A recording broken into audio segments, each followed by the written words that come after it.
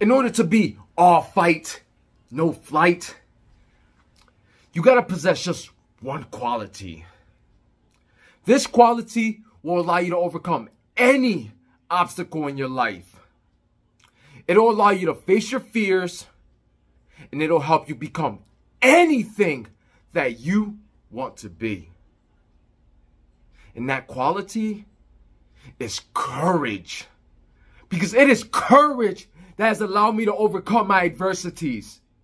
It is courage that has allowed me to face my fears.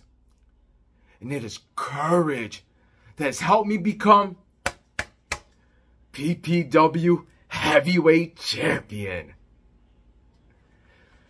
But when it comes to the Mecca and Clutch Adams, neither of them two have an ounce of courage inside of their bodies. Because instead of approaching me like a man face to face to let me know that they want a shot at this championship, they have instead attacked me from behind to try and get what they want.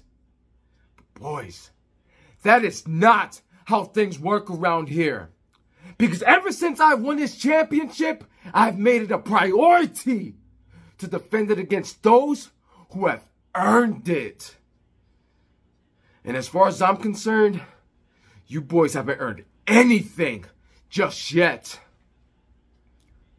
But since it is the holiday season, I guess PPW management was in a giving mood because they have presented to both of you with an opportunity this Saturday, December 9th. PPW lights out. It will be Brian Johnson, the Mecca, and Clutch Adams teaming up together to take on the team of myself, Super Fresh, Adrien Soriano, and my special partner for that evening, Mr. Smack Talker, Skywalker. Not just a real one, but the real one. And if you boys win this Saturday, then you get a shot at my PPW Heavyweight Championship at a future PPW event. But if you lose, then you'll just be proven what I already know. That not only are you just a couple of haters, but that you're also a couple of failures. So see y'all this Saturday. And good luck, because you're gonna need it.